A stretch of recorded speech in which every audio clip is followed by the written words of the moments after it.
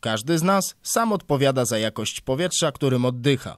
Dlatego tak ważne jest uświadamianie już od najmłodszych lat, w jaki sposób możemy wpłynąć na jego poprawę.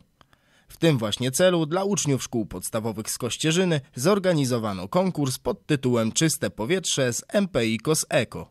Chodzimy z założenia, że edukacja, a edukacja, jeżeli już, to najlepiej przez najmłodszych, jest konieczna. I robimy to już od wielu lat. Pięć lat e, te projekty trwają, e, edukacyjne.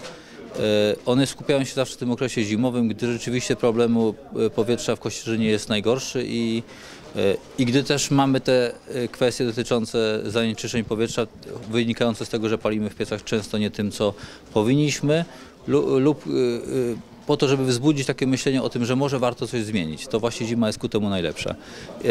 I my y, wspólnie z miastem, jako spółka Koseko Miejska, uznaliśmy, że najlepiej edukować dzieci.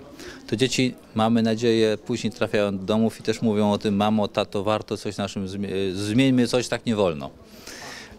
W tym roku konkurs cieszył się ogromnym zainteresowaniem. Do rąk jury trafiły łącznie aż 233 prace kościerskich uczniów.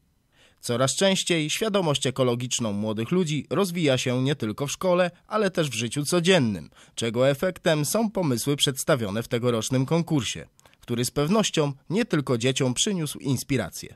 Oczywiście temat był czyste powietrze z Koseko tych prac. Wiele z tych prac e, zakładały tam, no, e, tu można trzeba powiedzieć wprost, e, oczywiście było sp- sporo prac, które pokazywały dymiące kominy i te niedymiące, które były podłączone do Koseko, ale były też prace, które były elektrownie wiatrowe, solary, których Koseko jeszcze nie posiada, więc jakby w tym sensie dla nas taki sygnał do przodu. Wszystkim finalistom konkursu serdecznie gratulujemy.